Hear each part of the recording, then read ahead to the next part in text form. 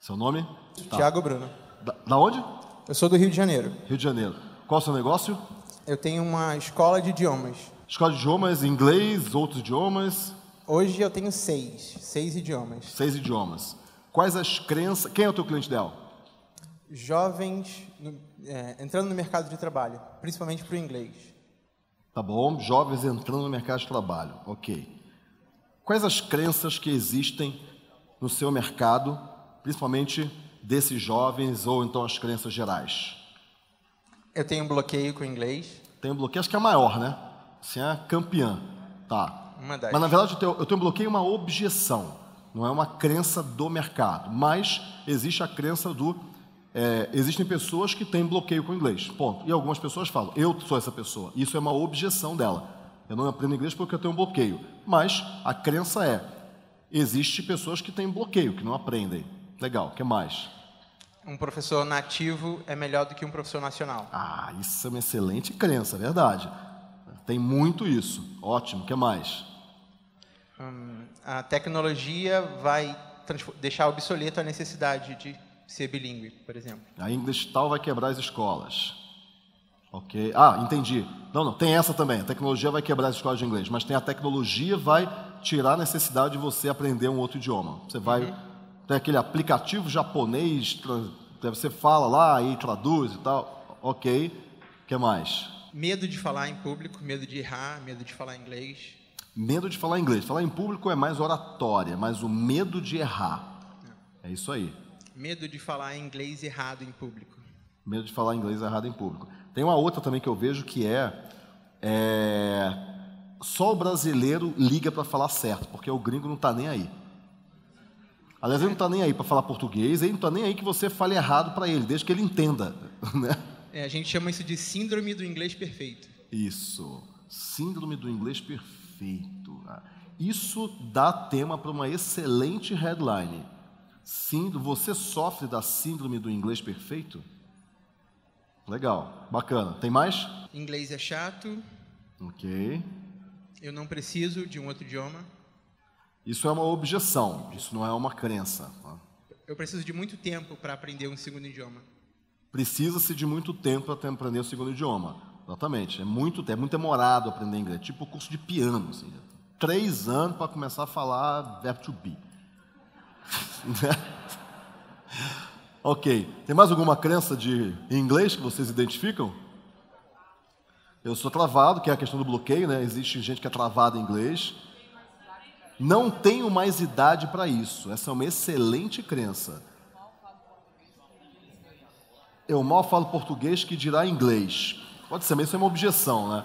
E eu não tenho mais idade, é uma objeção também. Mas existe a questão de. é, ah, tem uma crença importante com relação à idade que é: crianças Criança aprendem aprende mais mais fácil que adultos. Essa é uma crença violenta também. Interessante. Por que, que a gente está levantando.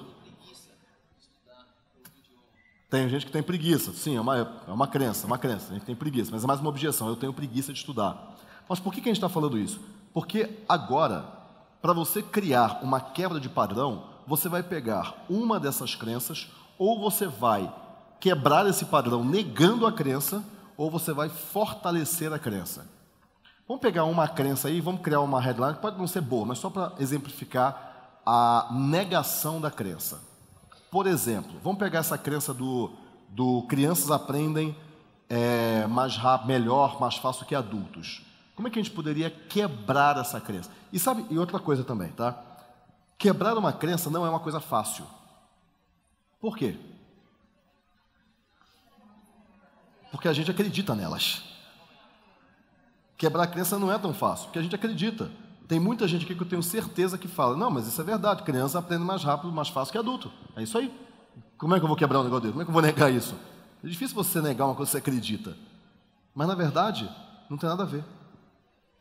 Estou certo? Sim? Sim, né? Que bom, né? Não tem nada a ver. Não tem nada a ver. Ah, a criança aprende mais. Não, os métodos são diferentes. Mas adulto aprende tanto quanto criança. Mas os métodos são diferentes. Como é que a gente pode negar essa crença? Prova social. Essa é uma excelente maneira. Conheça qual é o teu aluno mais idoso, mais idade, que Ah, começou eu- do zero. Eu já tive uma aluna de mais de 60 anos, não tenho certeza agora exato. A gente teve aula por cerca de quatro meses e ela mudou para Portugal. A gente continuou fazendo as aulas porque a gente trabalha com aula via videoconferência. E agora ela viaja pela Europa sem problema nenhum, sem medo nenhum. E em quanto tempo? Cerca de um ano e meio. Legal. 18 meses. 18 meses é mais bonito que um ano e meio.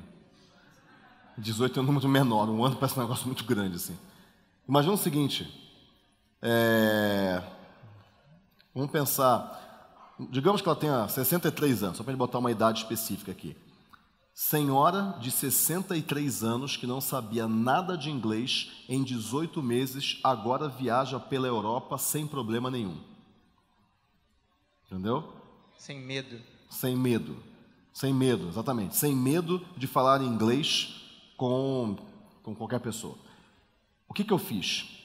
Eu peguei a crença, idade e inglês. Idade versus inglês. Criança aprendem mais rápido que adulto, adulto não aprende mais. E aí eu neguei essa crença. Como? Com uma história. Com uma prova social. Entenderam uma das maneiras de você negar a crença? Prova social é uma excelente maneira de você negar crenças. Excelente. É uma história. Porque aí, mas para quem que é essa história? É para um adolescente? Não. Não. É para o idoso que quer aprender inglês, ou então pessoas de 40 anos, sei lá, que quer aprender inglês e olha e fala: Cara, mas se ela com 63 aprendeu, então eu também posso aprender. Mas não é por causa de 18. Concordam? Entenderam como que eu neguei essa crença? Vamos pegar uma outra. Me fala uma outra crença aí poderosa. A do bloqueio. A Por que, objeção? que não existe esse negócio de bloqueio? Cientificamente você sabe? Complica. Complicado dizer. Mas eu acho que tudo depende da forma que você aborda. Por exemplo, pensa hoje. Você trabalha com palestras. Se eu te perguntar, você lembra muito bem das suas aulas de, de química ou de matemática? No caso de matemática, eu lembro que eu estudei para fazer Olimpíada, mas talvez não seja, um- eu não seja um bom caso para estudar isso. Mas de química eu lembro que depois eu fui dar aula de química. Mas de biologia eu não lembro nada. Exato. Biologia e geografia é desgraça. Isso naturalmente não faz parte do- da sua rotina, do seu dia a dia hoje. Exatamente. né? Mas se eu tivesse que te ensinar qualquer atividade ou qualquer conteúdo que faz parte do seu dia a dia, não seria mais fácil para você? Exatamente. Isso aí é Paulo Freire. Quer dizer, usar o dia a dia do aluno para ensinar a matemática. Legal. Agora, imagina o seguinte. é, imagina que a gente pega uma coisa como... Existe algum... Você consegue falar que o teu método... Você tem um método de ensino? Sim. Legal. Você consegue pegar pessoas, prova social também, de que falava eu tenho bloqueio e de, de repente ela estava falando? Eu tenho até um depoimento de um aluno que acreditava que o inglês dele não, não fosse melhorado inglês meio a meio e hoje já tem confiança suficiente para falar inglês em qualquer situação. Legal. Então imagina o seguinte, é, talvez não seja a melhor headline que ela é meio sensacionalista, mas só para dar um exemplo. Método inovador acaba com bloqueio de inglês de alunos que não sabem nada. Entendeu?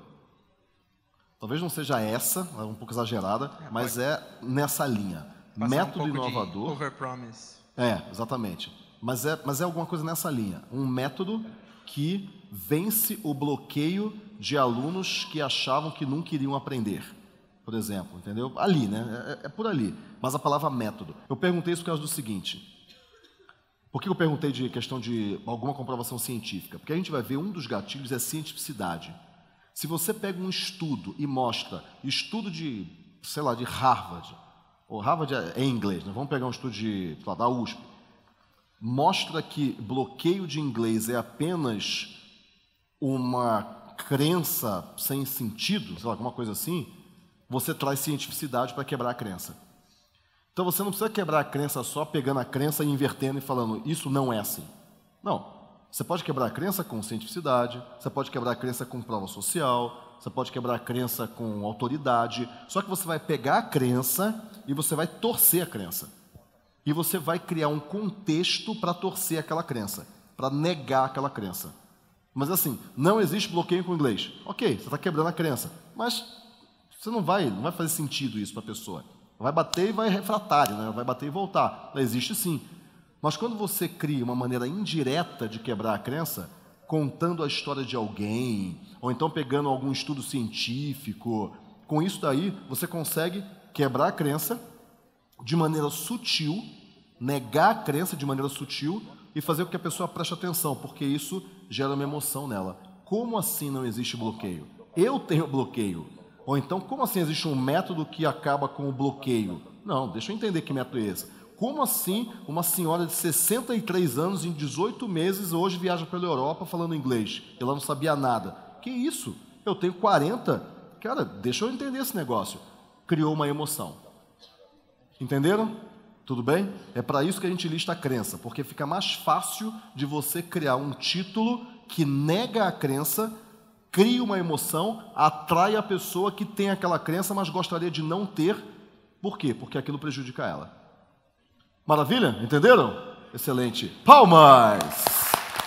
Eu espero que você tenha gostado do conteúdo e se você quiser dobrar a sua empresa de tamanho, acesse agora dobresuaempresa.com.br e lá fale com um dos meus consultores para você aprender um método que já ajudou mais de 13 mil empresas nos últimos 18 meses a alavancarem muito os seus resultados dobresuaempresa.com.br. Fale com um dos consultores que ele vai indicar o caminho para você aprender a dobrar a sua empresa com um método validado, testado no mercado pelos últimos oito anos. Vai lá, dobresuaempresa.com.br. .br